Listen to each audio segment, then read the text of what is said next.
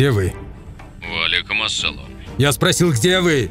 Говори нормально, не кричи, рядом со мной люди. Срочно приезжайте домой. У меня дела на улице, что ты говоришь? Я говорю, приезжайте домой немедленно, папа! Что случилось, все в порядке? Поговорим дома. Говори тише, я приеду позже. Приезжайте сейчас!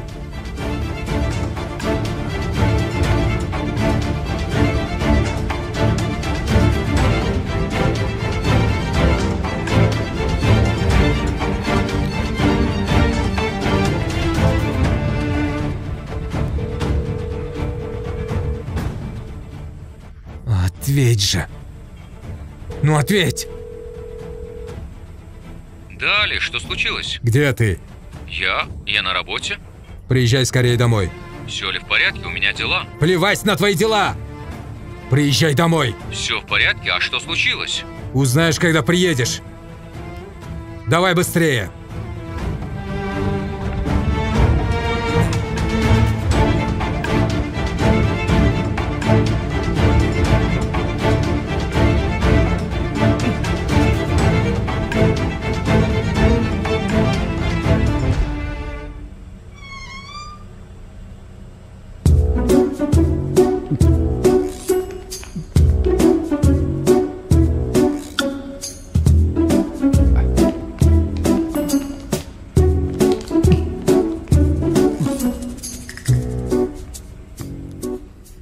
Да, сенсей.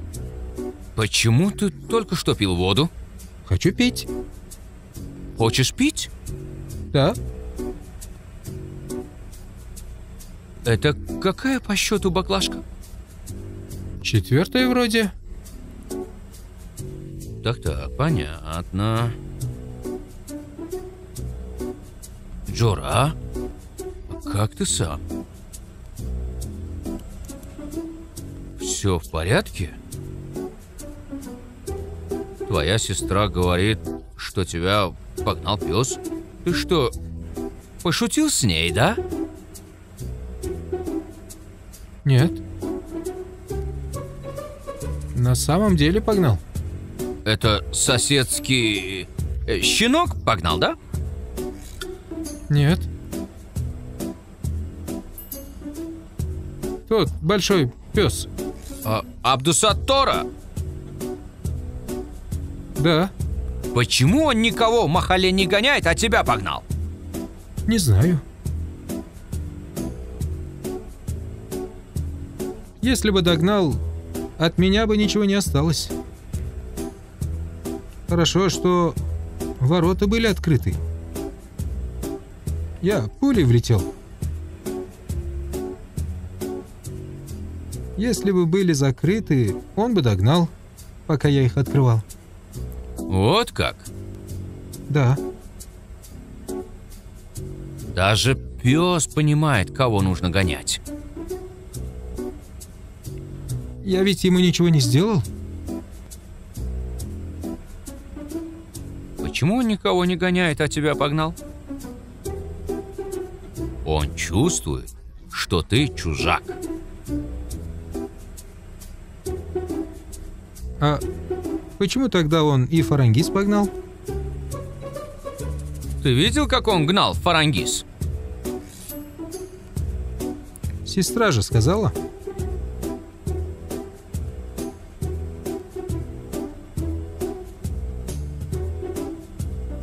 Сенсей, давайте как-нибудь избавимся от этого пса, а? Слушай, Абдусатор нас с тобой порежет, ты знаешь? Он вырастил его с детства. Для него этот пес как ребенок. Главное, чтобы пса не было. А дальше мне все равно. Мне все равно, говоришь. У тебя ведь нет семьи, да? А у меня есть мать, есть дети. Тебе никто не нужен. А я не могу так рисковать. Я один боюсь что-то делать. Тогда не говори, что нужно его убить.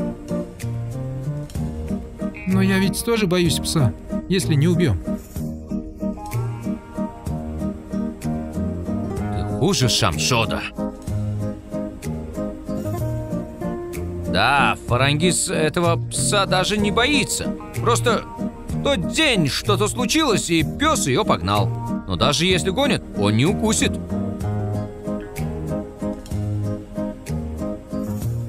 Не знаю. Но я сейчас весь в страхе. В страхе? Да. Я полежу дома несколько дней. Отличная отговорка. Это не отговорка, сенсей.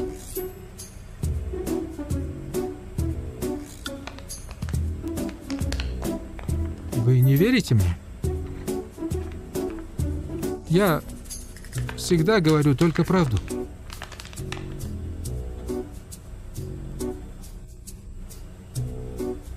Понятно, Джора, что-нибудь придумай.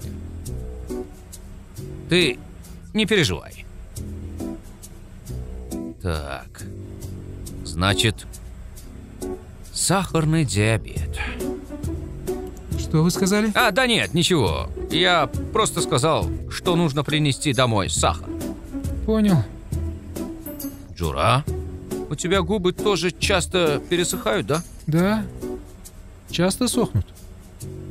Все ясно. Ладно, ты иди отдохни, а мы что-нибудь э, придумаем, хорошо? Хорошо, сенсей.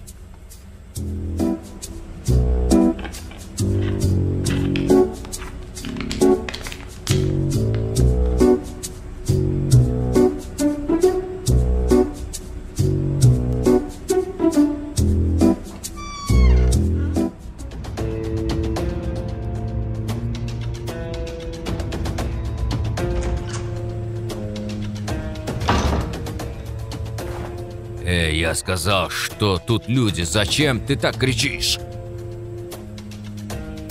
Папа,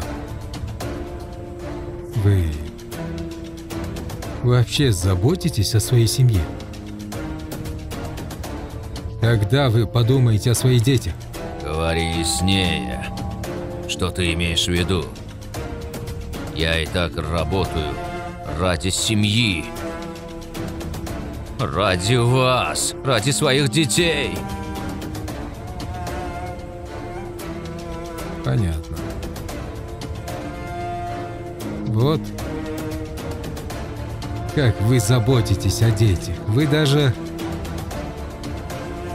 не знаете, чем занимаются ваши дети. Следи за языком. Правильно, я не знаю, чем ты занимаешься, но я отлично знаю, чем занимаются твой брат и сестра. Вы именно не знаете, чем занимается моя сестра. Она делает, что захочет. Под предлогом, что идет в магазин, встречается с парнями. Эй, следи за языком. Папа, я видел это своими глазами. Тот парень даже заходит с ней в магазин. Сколько месяцев или лет они встречаются? Одному богу известно. Эй, моя дочь не такая. Именно такая. Если нужно, еще хуже. Следи за своим языком. Папа, вы ничего не знаете. Вы открыли ей магазин, а дальше вам неизвестно. Делает все, что есть заблагорассудится. Гуляет по ночам. А вам с братом главное деньги. Я понимаю. Вы живете только ради денег. А ваша дочь делает, что хочет. Если не верите мне, можете подняться в ее комнату и спросить у нее. В ваших глазах мы всегда лжем.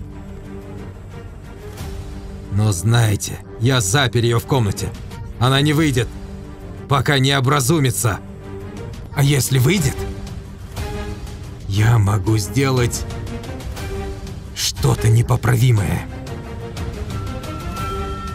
Это не угроза, папа. Это предупреждение.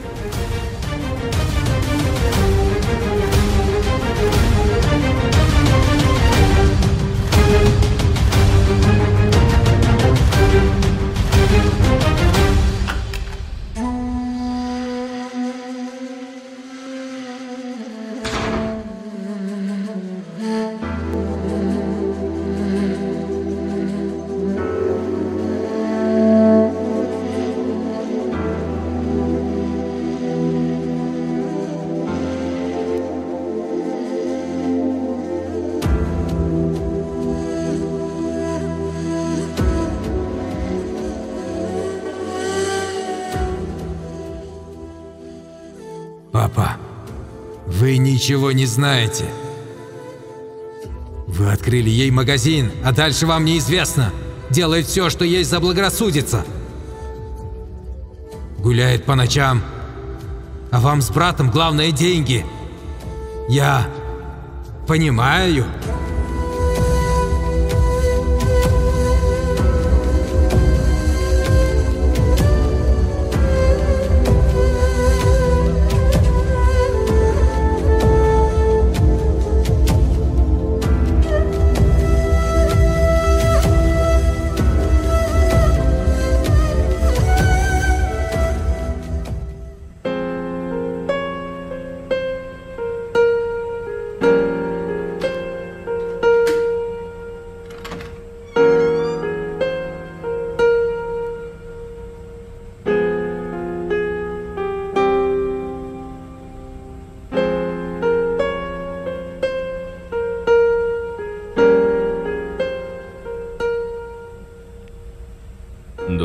Доченька.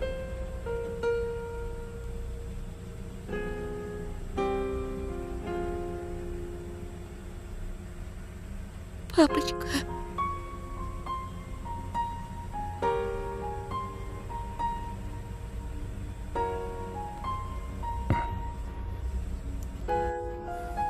Простите меня.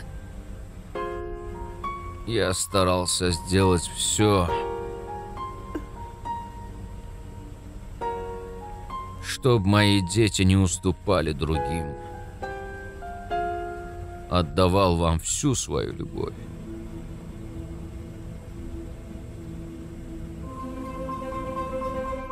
Самое главное, я никого не обделял.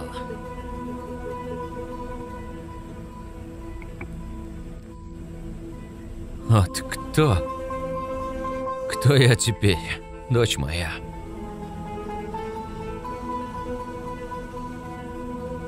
Ты обо мне не думала? Я ведь не воспитывал тебя так.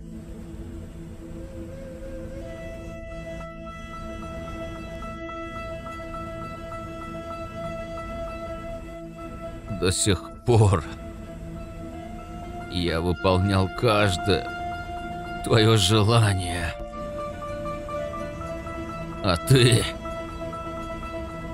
предала мое доверие, растоптала мою честь в один миг. Нет, папа. Ты... Папа, ты унизила меня, дочь. это не так, папа.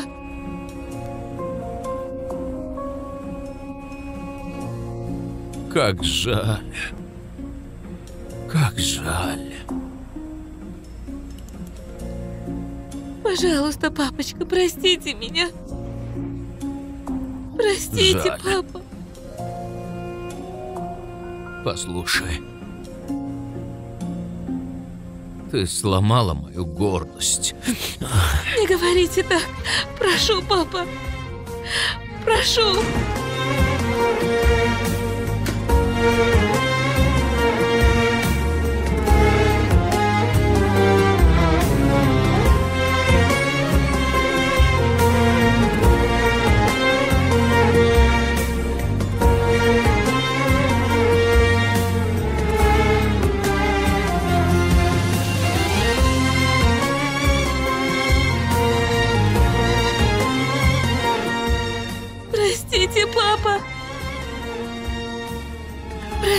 Простите, папа.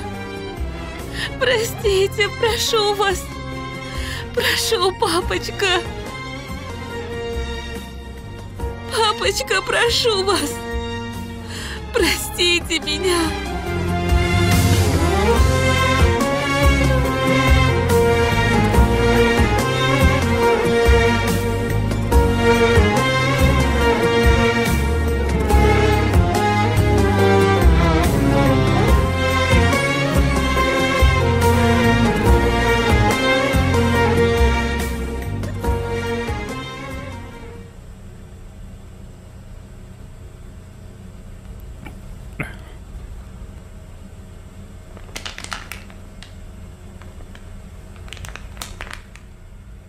Дядя.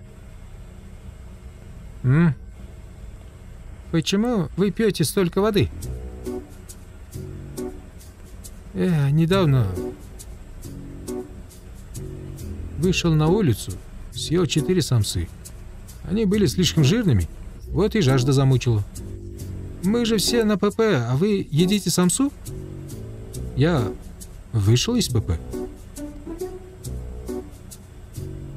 Я спросил у сенсея.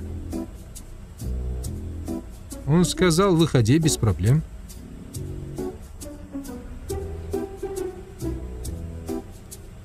А я подумал, что с вами что-то случилось. Нет, просто самса вызвал жажду.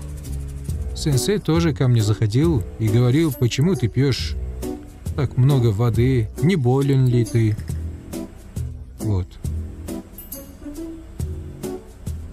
Вы пьете воду, как будто больной человек. Все хорошо.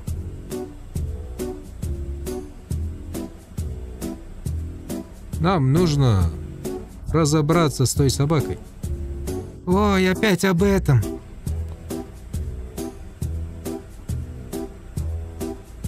Она здорово погоняла, знаешь? Кого? Меня? Ой, да бросьте. Еле домой убежал. Если бы ты был на моем месте, у тебя бы сердце остановилось от страха. Ой, я не боюсь таких собак.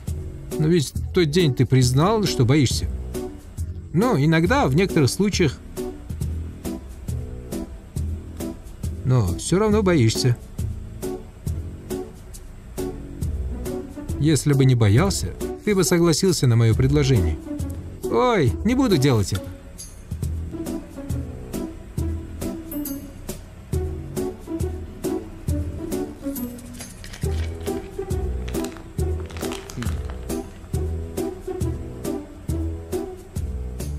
Такая жирная самса, прямо пить хочется.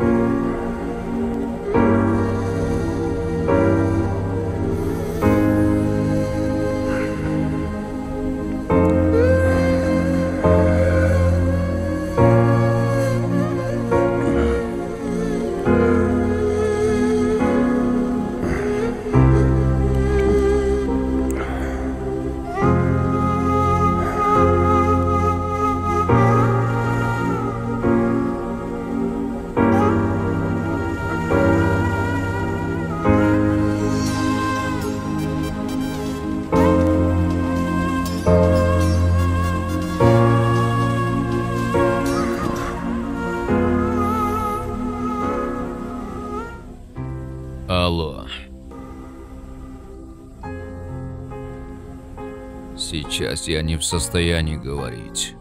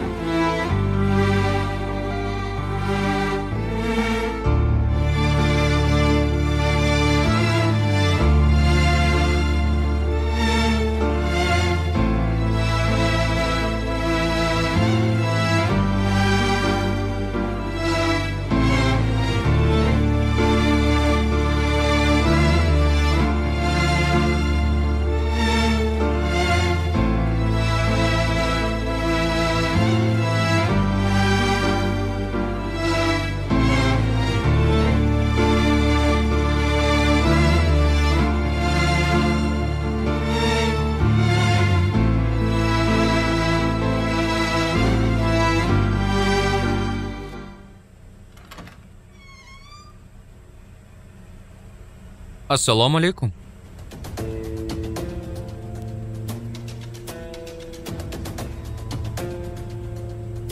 Папа, как вы?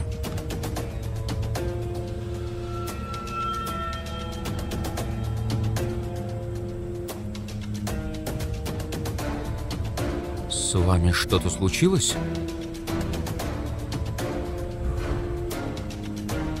Вы плохо себя чувствуете? Или Али что-то сказал?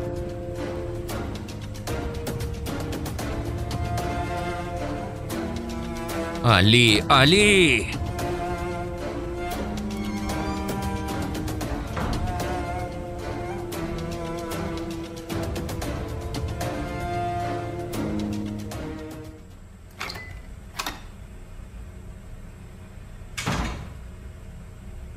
Али, что ты сказал отцу?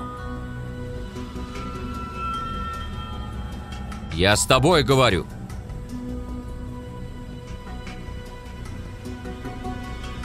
О, так можно же нормально поговорить. Только вот эти слова нужно повторить и сестре. Спрашивать у нее, что делаешь, что происходит, откуда Что возвращаешься. ты хочешь сказать?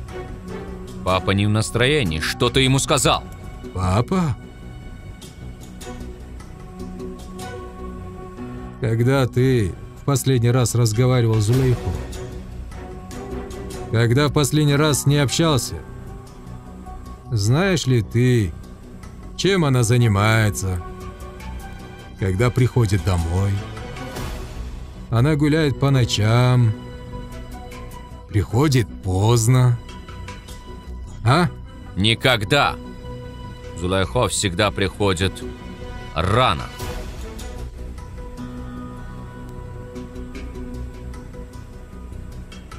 Хорошо, что вы живете в одном доме. Если бы жили в разных местах, она могла бы творить еще хуже дела. Ты объяснишь, что случилось? Я поймал Зулайхо с парнем. Это невозможно. Возможно. Я говорю то, что видел.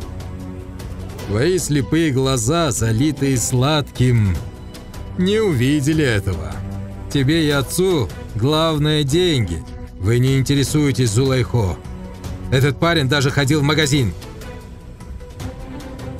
Дважды я видел его собственными глазами. Сколько раз он приходил, когда меня не было, я не знаю. Ты понял?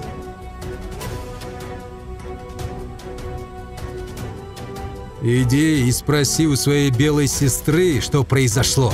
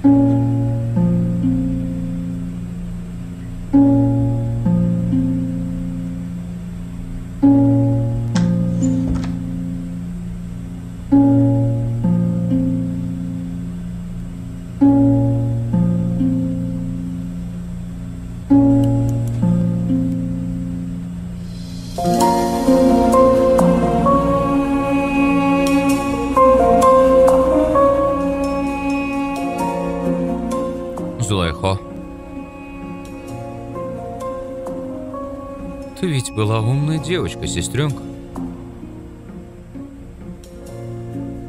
Я доверял тебе.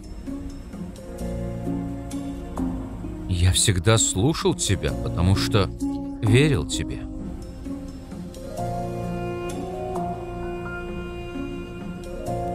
Мне было все равно, что ты делаешь, куда идешь.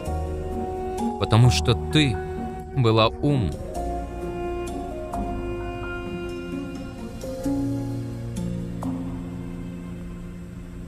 это, что ты сделала, неправильно.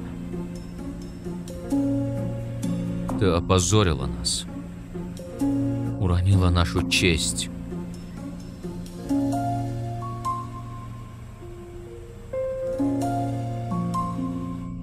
Шахрухаке, я не делаю ничего плохого. Почему вы не верите мне? Я не совершила ничего такого, что могло бы вас опозорить. Я еще не потеряла голову до такой степени.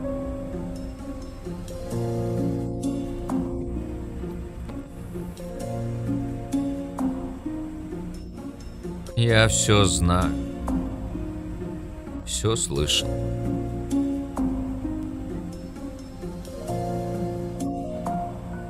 Если то, что я сделала, неправильно, пусть так. Я виновата. Можете бить меня, ругаться. Не выпускайте меня из этой комнаты. Запирайте.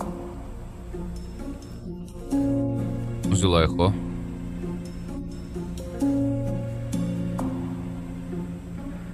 Никогда в жизни не было правильным, чтобы девушка и парень гуляли вместе, стояли вместе. Может, ты общалась с ним по-простому, но даже... Даже это ошибка. Потому что он тебе не махрам.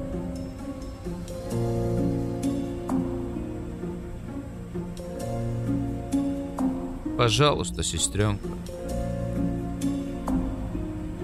Больше не делай таких вещей.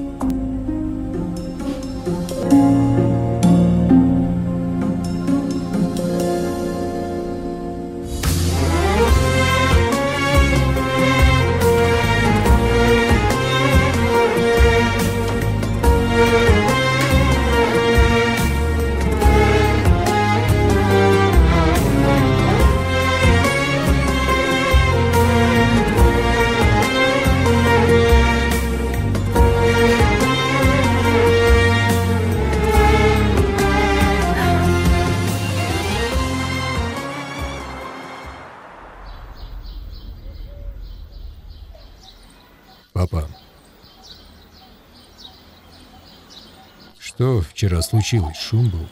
Да. Шерзот пришел пьяным.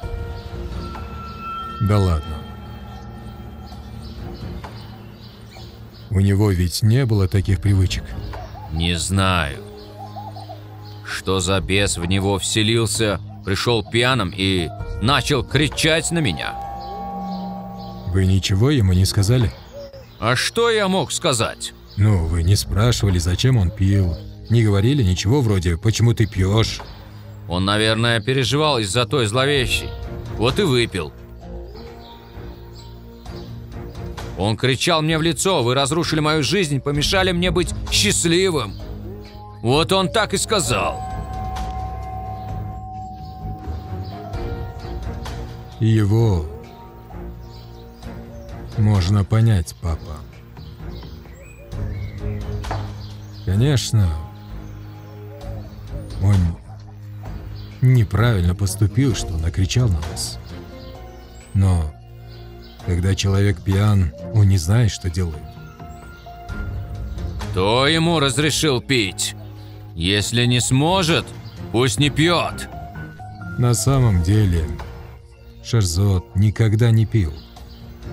Эти события, возможно, и заставили его выпить, папа. После того, как пришел пьяным, больше не кричит на меня. Я поставил его на место. Вы его побили? Конечно, побил. Разве буду я просто смотреть? Как он кричит мне в лицо. Папа, он, возможно, не понимал, что делал, ведь был пьян.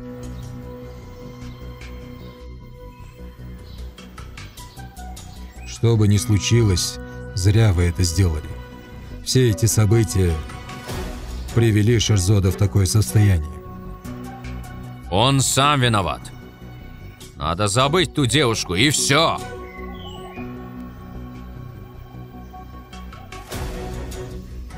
Вам легко говорить, папа. Но только Шерзот знает, через что он проходит. Что там у него могло произойти? Вы уверены, что он не ушел? Да, наверное, еще спит. Куда ему идти?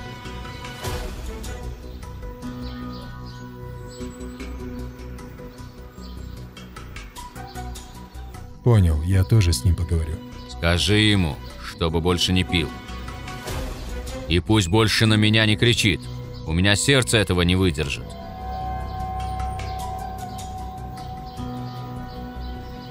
Ладно, папа. Приятного отдыха.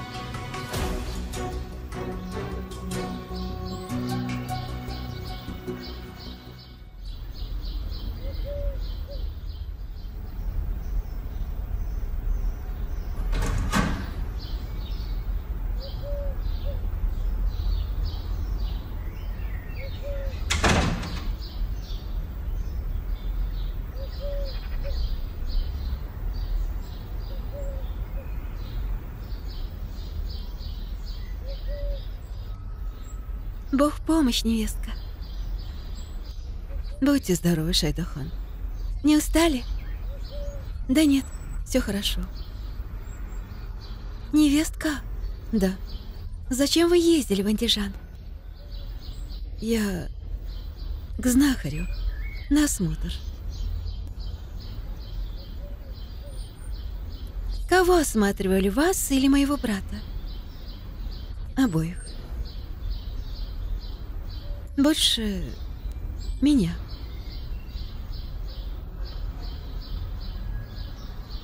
Как результаты? Пока не ясно. Поедем еще. Бедный брат так мучается от бездетности.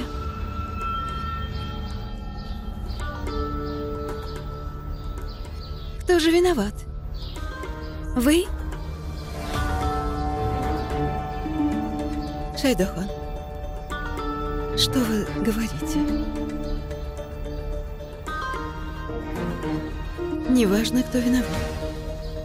Я или он. Когда Бог пожелает, у нас будут дети. Мы делаем все, что можем. Но бросьте, невестка. Все равно кто-то виноват. Мне кажется, проблема в вас, да?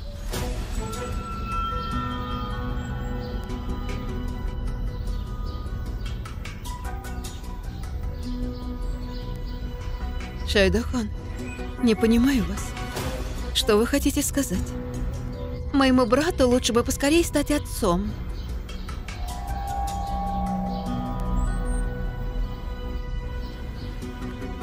Я тоже за это.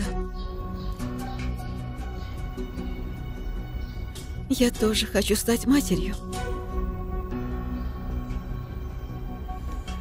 Но это не в моих руках. Все зависит от Бога. Не все зависит только от меня.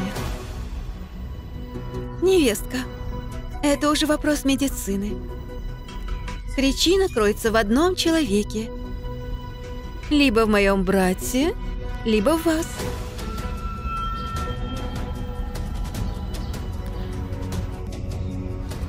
Я, кажется,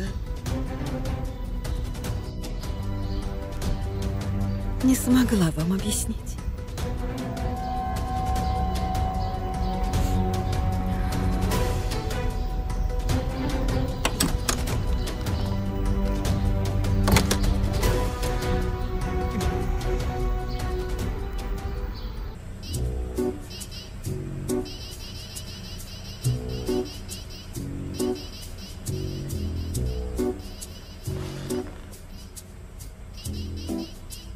Английский язык. Дядя! М? Вы не пойдете на работу? Нет. Почему? Играете в телефон? Мне плохо. Вы врете. С чего ты взял? Это же видно. Вы играете в телефон. Я болею.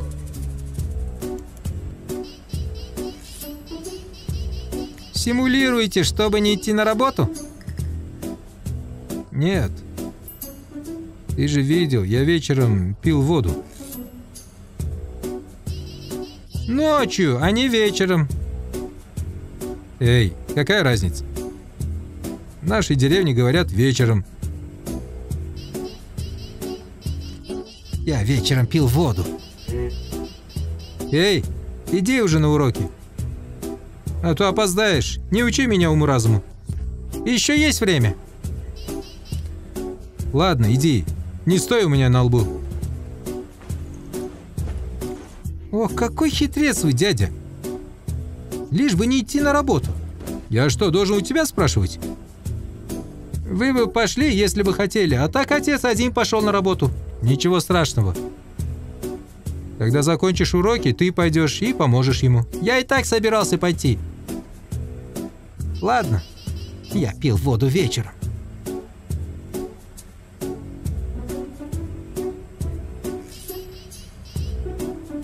Какой умник.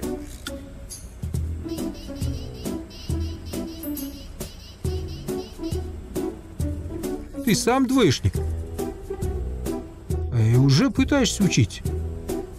Это такие, как ты.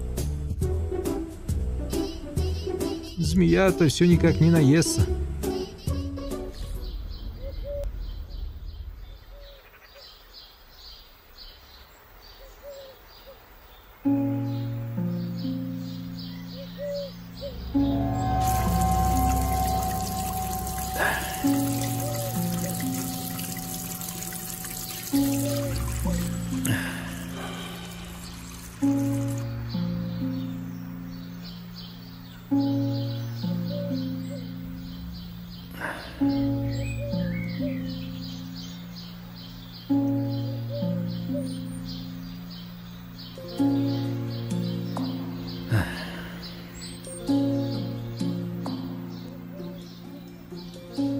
Ассаламу алейкум, папа. Валейкум ассалам.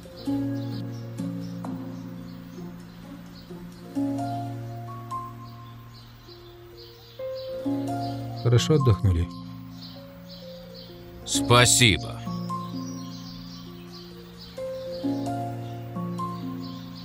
Папа.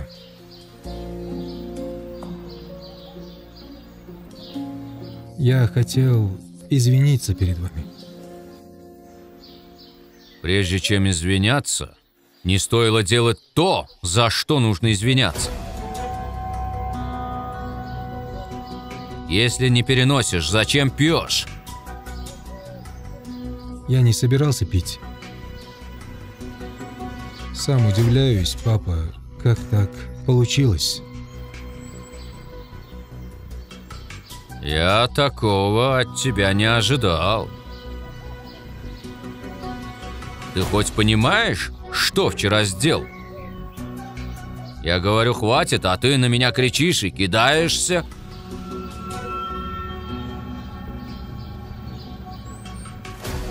Я для этого тебя растил, да?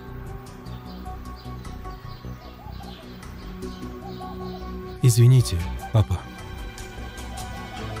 Сделаешь, а потом только извиняешься.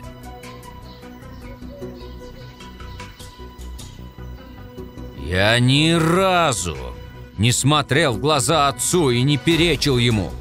И это нормально, да? Ответь мне!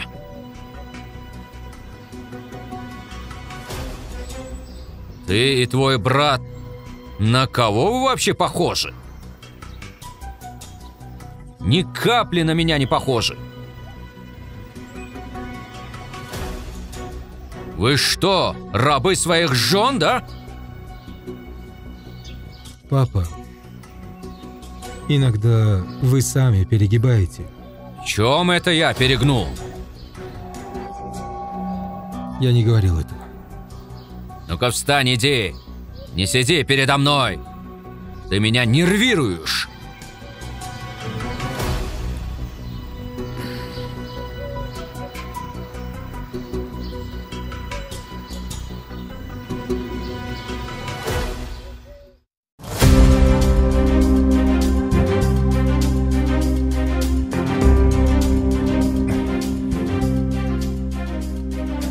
У него сахарный диабет. Диабет? Я не поеду. Поедешь. Не поеду. Я сказал, поедешь. Если любит, то пришлет сватов. Как он может быть для меня близким человеком?